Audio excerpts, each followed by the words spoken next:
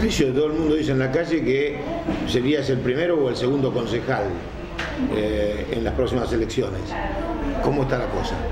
Bueno, nosotros eh, como grupo político estamos siempre trabajando por, por un proyecto, por, un proyecto de gobierno, apuntalando desde cada uno de su lugar eh, este, este proyecto que, encabeza el intendente Mario Meoni y cada uno de nosotros como parte integrante de ese grupo estamos a disposición eh, y en estos, en estos momentos no, no es la excepción, yo también, yo también si el intendente considera que puedo ser útil desde, desde ese lugar eh, voy a estar eh, a disposición. Y si no, estoy eh, muy conforme con la responsabilidad que tengo actual como secretario legal. Es una tarea que me gusta, que, que llevo con mucha responsabilidad y que la continuaría de absoluto buen grado. ¿Te seduce la idea de ser concejal?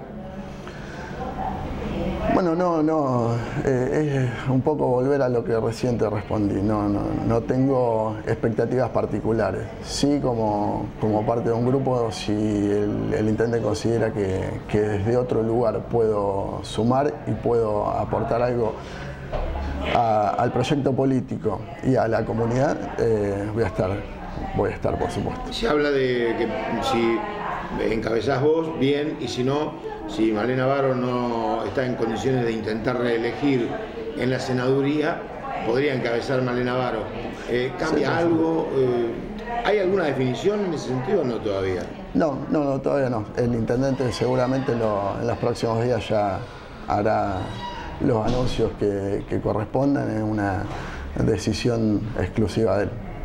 Y en el marco de la cuarta sección electoral y en el resto de la provincia de Buenos Aires, el grupo político cómo se está moviendo?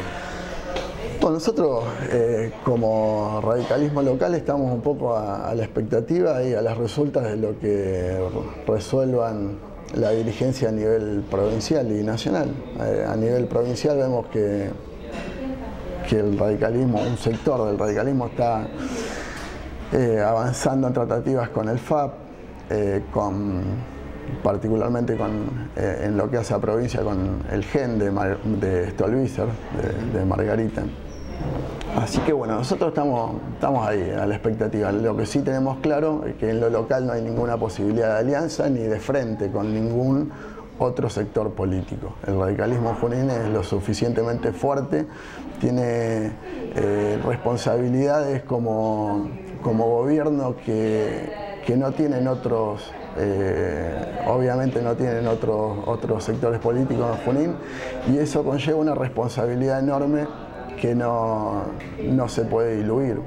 Así que eh, en Junín el panorama está, está claro, el radicalismo va a ir solo, va a ir sin alianza, va a ir sin conformar ningún frente en cuanto a, a lo que se resuelva a nivel provincial o nacional. Y con otros sectores del radicalismo como el Rapaca, o bueno, el sector de Laura Esper, ¿hay conversaciones, hay alguna charla o no?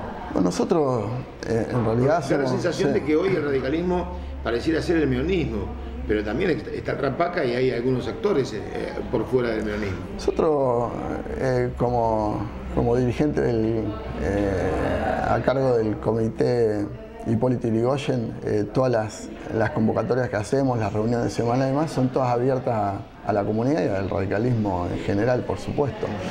Pero particularmente no, hay conversaciones a nivel personal eh, entre bueno, los distintos sectores que, mencionaste. Yo, yo respondo por, eh, por el grupo eh, que integro, por el, radicalismo que en las últimas elecciones eh, bueno, fue eh, quien asumió la responsabilidad de dirigir el comité local y, tenemos un, un, comité movilizado con, con, mucha actividad, con sectores de mayores, de juventud, absolutamente comprometidos desde lo social y desde lo político con, el radicalismo. Eh, entiendo por lo pronto que el radicalismo representativo y movilizado es el que eh, se conforma a, través del, a partir del Comité Político